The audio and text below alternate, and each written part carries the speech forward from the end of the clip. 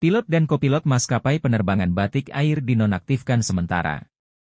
Ini adalah imbas dari keduanya tertidur sekitar 28 menit saat menerbangkan pesawat Airbus A320, PKLUV, rute Bandara Halu Oleo, Kendari, Sulawesi Tenggara, menuju Bandara Soekarno-Hatta, Tangerang, Banten, 25 Januari 2024 lalu.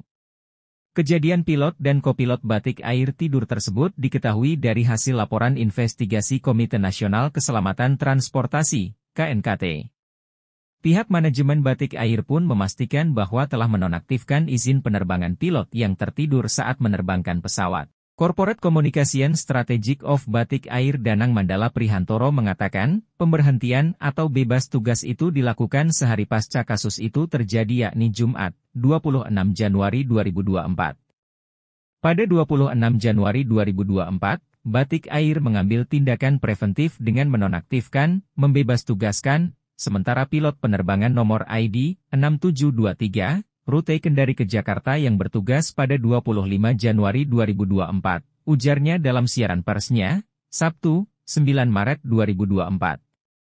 Ia bilang, keputusan tersebut merupakan bentuk keseriusan perusahaan terhadap pentingnya aspek keselamatan serta dalam rangka menjalankan investigasi yang menyeluruh.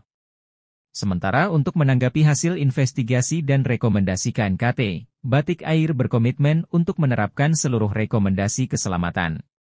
Sebagai bagian dari upaya tersebut, Batik Air memperkuat program pembinaan dan meningkatkan prosedur keselamatan operasional penerbangan terhadap semua awak pesawat.